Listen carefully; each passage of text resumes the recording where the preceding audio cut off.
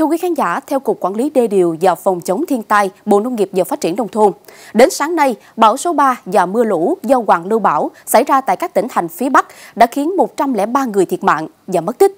Trong đó, số người thiệt mạng là 63 người, mất tích là 40 người, số người bị thương là trên 750 người.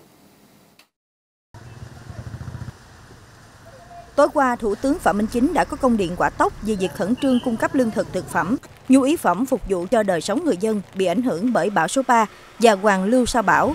Công điện nêu rõ, để nhanh chóng ổn định sản xuất cuộc sống của người dân, không để người dân nào bị đói, rét, không nơi ở, không có nước sạch, không được chăm sóc y tế và các cháu học sinh sớm được đến trường. Thủ tướng Chính phủ yêu cầu Bộ trưởng các bộ Quốc phòng, Công an chỉ đạo các đơn vị tích cực chủ động phối hợp với các địa phương bị ảnh hưởng bởi bão số 3, khẩn trương vận chuyển lương thực thực phẩm, lương khô, các nhu yếu phẩm, nước uống, nước sạch để cung cấp cho người dân trong vùng bị cô lập. Người dân thiếu lương thực thực phẩm và các nhu yếu phẩm trong thời gian nhanh nhất có thể. Bộ trưởng Bộ Tài chính xuất cấp cho Bộ Quốc phòng và Bộ Công an mỗi bộ 100 tấn gạo từ dự trữ quốc gia để chủ động vận chuyển đến các địa phương thiếu gạo, chú ý không để xảy ra tiêu cực, tham nhũng, lãng phí. Ngành chức năng tổ chức cấp phát lương thực thực phẩm, lương khô và các nhu yếu phẩm đến tận tay người dân một cách nhanh nhất, đảm bảo đúng đối tượng, hiệu quả, tránh thất thoát, lãng phí.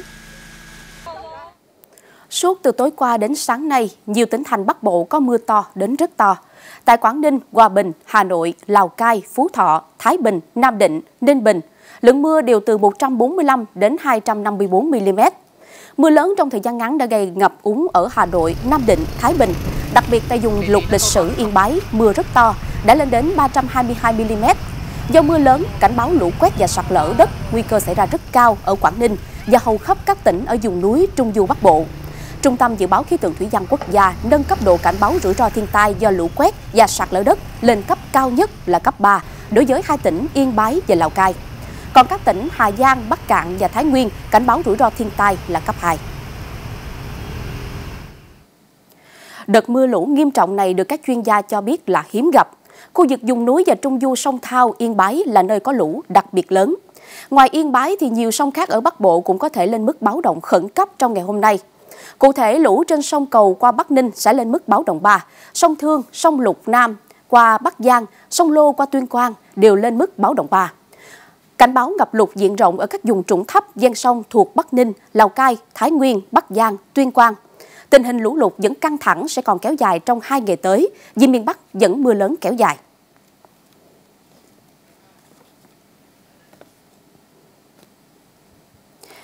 Và theo thông tin mà chúng tôi vừa cập nhật thì à, trước nguy cơ có thể dở đê đột ngột, tỉnh Thái Bình yêu cầu là tăng cường canh gác đê, phát hiện và xử lý kịp thời những diễn biến hư hỏng của đê, kè, cống do lũ gây ra.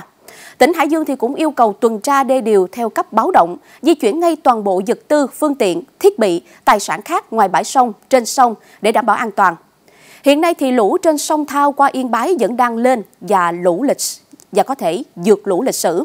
Tình hình rất là khẩn cấp. Ngành chức năng nhận định tình hình lũ ở Yên Bái sẽ cực kỳ nguy hiểm.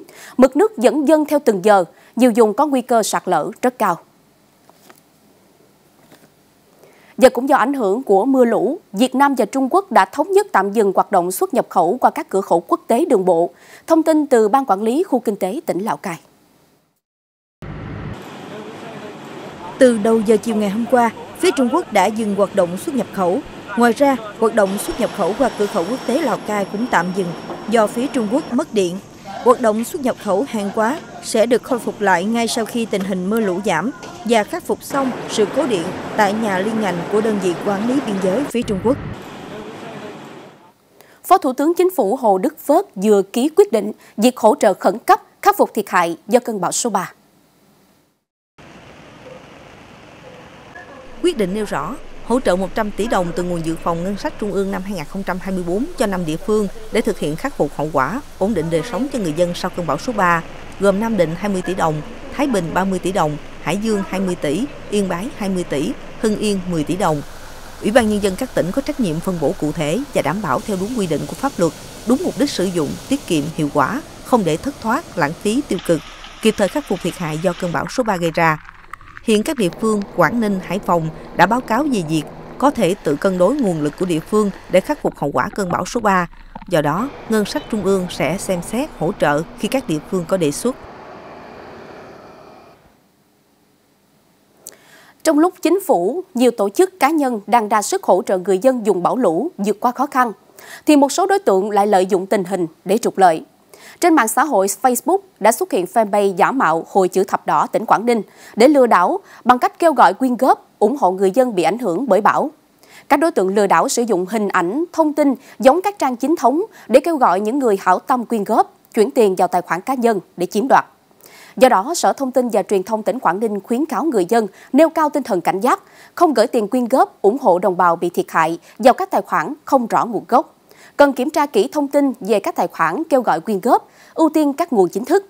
Đồng thời kêu gọi người dùng mạng xã hội đẩy mạnh việc chia sẻ rộng rãi thông tin cảnh báo này để người dân nêu cao tinh thần cảnh giác, báo cáo với các cơ quan chức năng khi phát hiện các fanpage hoặc tài khoản cá nhân có dấu hiệu lừa đảo. Chương trình tiếp tục với những thông tin đáng chú ý khác. Tại Kiên Giang vào tối qua đã diễn ra lễ kỷ niệm 15 năm hình thành và phát triển khu đô thị Phú Cường. Đây là dự án lấn biển quy mô và hiện đại nhất Việt Nam tính tới thời điểm này. Bí thư tỉnh ủy Kiên Giang Đỗ Thanh Bình cùng lãnh đạo các bộ ngành trung ương đã đến dự. Với diện tích hơn 166 ha, dự án là tổ hợp các dịch vụ nhà ở thương mại, shop house, chung cư kèm nhiều công trình tiện ích mang tầm cỡ khu vực và quốc tế. Sau 15 năm nỗ lực triển khai, hiện dự án đã hình thành hàng ngàn sản phẩm bất động sản và thu hút hàng chục ngàn cư dân sinh sống làm việc. Dự án là động lực thúc đẩy tăng trưởng cho tỉnh Kiên Giang nói riêng và dùng đồng bằng sông Cửu Long nói chung. Với sự quan tâm của chính phủ, tích cực đồng hành từ địa phương, Phú Cường Group cam kết sẽ tiếp tục triển khai hiệu quả các giai đoạn tiếp theo, với mục tiêu tạo ra không gian sống chất lượng, sản phẩm đa dạng và giá thành hợp lý. Nhờ triển khai hiệu quả dự án này, mỗi năm doanh nghiệp đóng góp hàng trăm tỷ đồng cho ngân sách địa phương, cũng như chăm lo tốt công tác an sinh xã hội.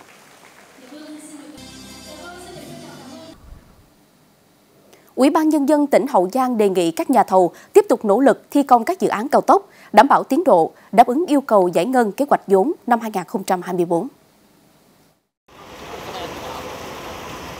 Cụ thể, dự án thành phần 3 dài gần 37 km đi qua huyện Châu Thành và huyện Phụng Hiệp, tỉnh Hậu Giang. Dự án có tổng hai gói thầu xây lắp đang thi công.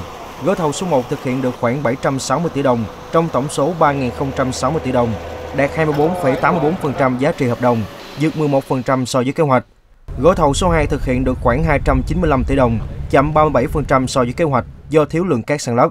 Sở Giao thông Vận tải tỉnh Hậu Giang sẽ tiếp tục tham mưu Ủy ban nhân dân tỉnh trong việc tìm kiếm nguồn cát sàn lấp cho dự án và xây dựng rõ tiến độ kế hoạch theo tuần để làm cơ sở phấn đấu, kiểm tra, chỉ đạo bám sát hơn nữa trong những tháng cuối năm, quyết tâm đưa các dự án cao tốc về đích đúng tiến độ.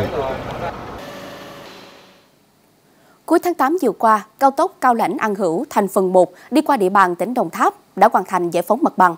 Nguồn cát cung ứng cũng dồi dào hơn khi có thêm một mỏ cát vừa khai thác.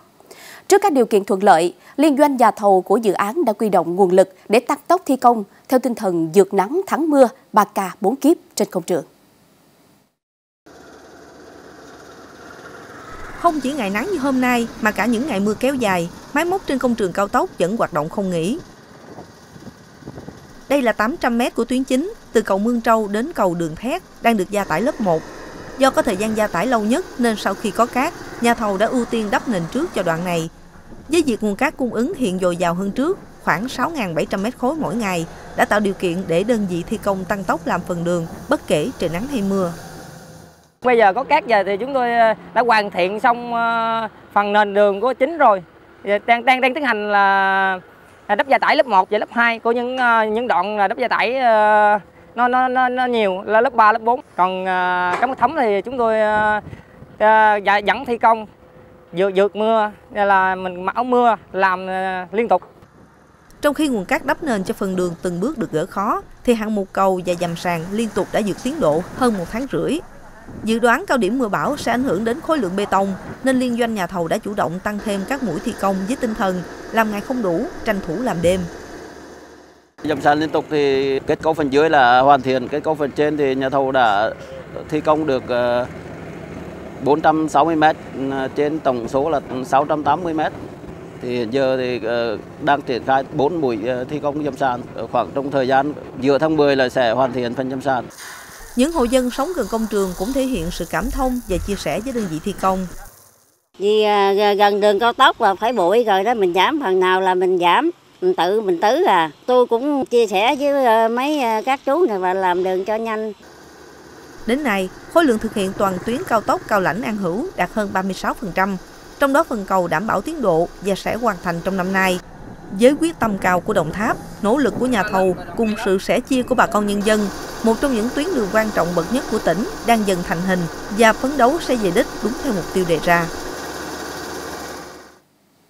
Thêm một dự án FDI đổ vào Long An với vốn khoảng 200 triệu đô la Mỹ. Đây là kết quả của buổi lễ ký kết giữa Đồng Tâm Group Việt Nam và tập đoàn CS Win Hàn Quốc vừa diễn ra trên địa bàn tỉnh này. Đến dự có đồng chí Nguyễn Văn Được, Bí thư tỉnh ủy Long An. Thông tin chi tiết từ phóng viên Quỳnh Tông.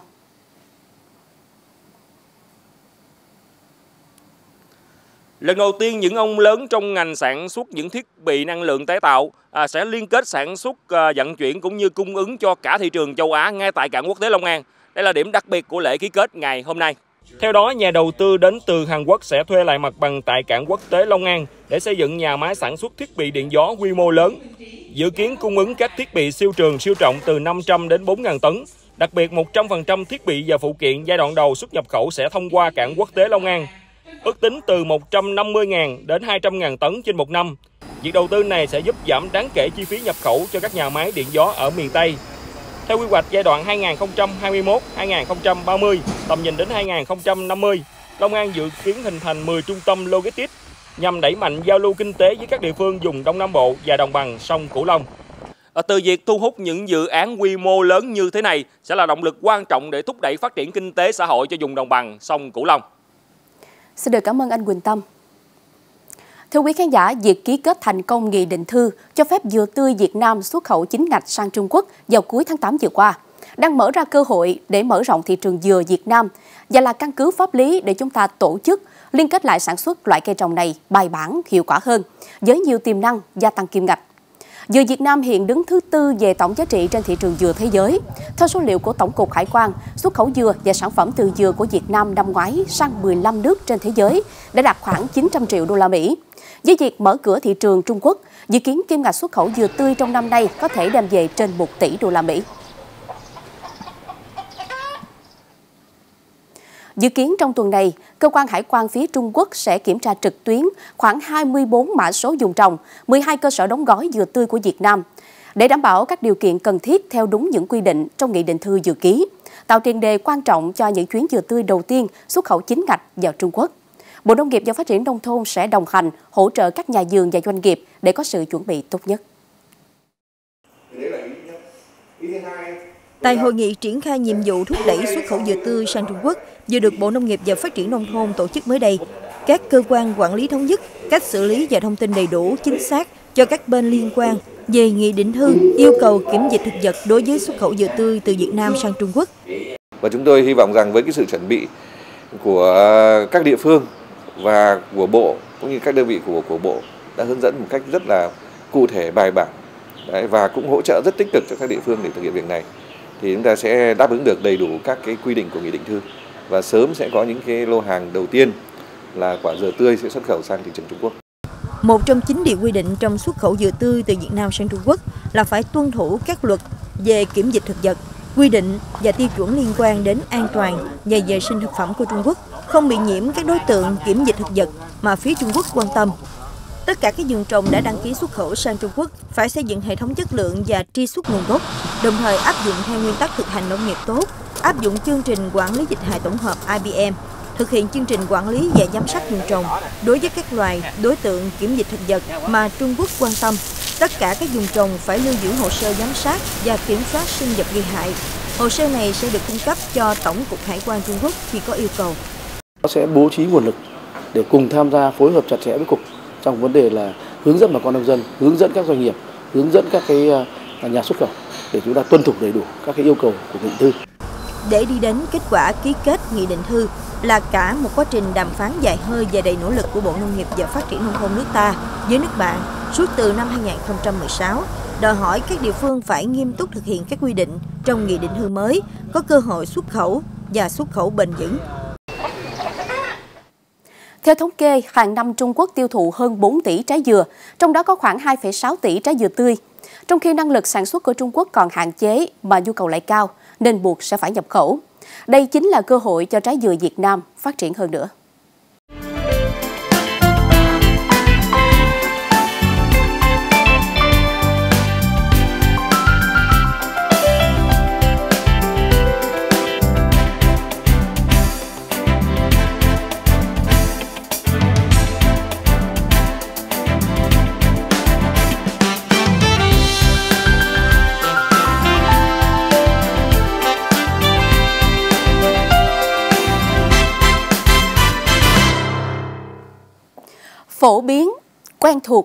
Dễ ăn và bình dân là những từ có thể diễn tả khi nói về món bánh mì. Trên khắp nẻo đường của đất nước thì chúng ta có thể bắt gặp bất kỳ một cửa hàng bánh mì nào, từ quốc lộ, trục đường lớn cho đến những con hẻm nhỏ. Cùng với nhịp sống ngày càng thay đổi, người thợ làm bánh luôn tìm cách biến tấu cho món bánh truyền thống. Từ đó những chiếc bánh làm ra với hương vị thơm ngon thôi thì vẫn chưa đủ. Cần phải sáng tạo những hình ảnh độc đáo để giúp chiếc bánh thêm phần hấp dẫn và thu hút người thưởng thức. Vẫn nguyên liệu thân thuộc của chiếc bánh mì truyền thống. Thao tác quen thuộc, từ trộn bột, cân lượng trọng lượng đến chia bột. Và điều làm nên sự khác biệt là đây. Bên lắp ráp, bên tạo hình thì mình phải khéo tay chút xíu nó mới đẹp được cái con cá. Cá lớn thì mình nhồi 7 kg, 7 kg ra 8 con, còn cá nhỏ là mình nhồi 9 kg. 9 kg là mình ra tới 32 con. Chủ cơ sở bánh mì tạo hình này là bà Nguyễn Thị Thuận, người con của vùng đất Tân Châu, tỉnh An Giang. Hơn 30 năm gắn bó với nghề làm bánh mì truyền thống, bà Thuận hiểu rõ, để nếu chân thực khách thì bánh làm ra chỉ ngon thôi là chưa đủ. Bánh dài thì nó bình thường, còn mình mà tạo mẫu thì mình bán được hơn. Mỗi ngày lò bánh đỏ lửa từ 2 giờ sáng. Những người thợ sành sỏi như anh Tâm phải làm không ngơi tay đến trưa mới kịp những mẻ bánh nóng giòn để phục vụ thực khách. Một ngày là như cá nhỏ nè, mình làm hai trăm mấy chục con. Cá cá lớn là cỡ bảy tám chục con, trăm con. Con làm có thể ờ, hai chục phút thì nửa tiếng mới xong một con. Làm tôm, cua, cá sấu. Còn ví dụ như người ta có đặt á, như gồng, khủng long, bướm, những các những con gì ta muốn đặt thì mình chẳng làm được. Mặc dù có hình thù cầu kỳ và bắt mắt, thế nhưng bánh mì làm ra tại cơ sở này lại không có bất kỳ khuôn mẫu nào mà được làm hoàn toàn bằng thủ công. Sau khi có hình dạng như mong muốn, bánh được nướng trong khoảng 30 phút để tạo nên màu sắc bắt mắt. Sau khi nướng bánh xong, người thợ sẽ phết thêm một ít bơ và sầu riêng. Điều này cũng góp phần làm cho chiếc bánh có mùi vị riêng biệt và kích thích khứu giác của người thưởng thức. Bánh à, con cá sấu nhỏ thì 35 ngàn, con 15 ngàn, con 70 ngàn. Còn với thực khách, khi thưởng thức những chiếc bánh mì độc đáo như thế này, niềm vui không chỉ đến từ hương vị thì mua về cái vợ chồng con cái người dành cái đuôi người dành cái đầu vậy mà nó rất là vui. Thường thường ăn kèm với lại uh, bò bít tết rồi ăn với lại vịt quay. Nói chung là mua một con thôi là ăn cả nhà luôn. Thấy bánh mì nó cũng ngon thấy cũng nóng giòn nè. Hình dáng này mình thấy cũng rất thích tại vì mình thấy hình giống như cá sấu vậy đó. Đến nay, cơ sở bánh mì tạo hình của bà Thuận đã có mặt ở nhiều tỉnh thành tại miền Tây như An Giang, Trà Vinh, Bạc Liêu và Sóc Trăng. Với tình yêu nghề và sự sáng tạo trong ẩm thực, bà Thuận đã khoác thêm chiếc áo mới cho chiếc bánh mì truyền thống, mà hương vị chiếc bánh dân giả ngày càng dương xa.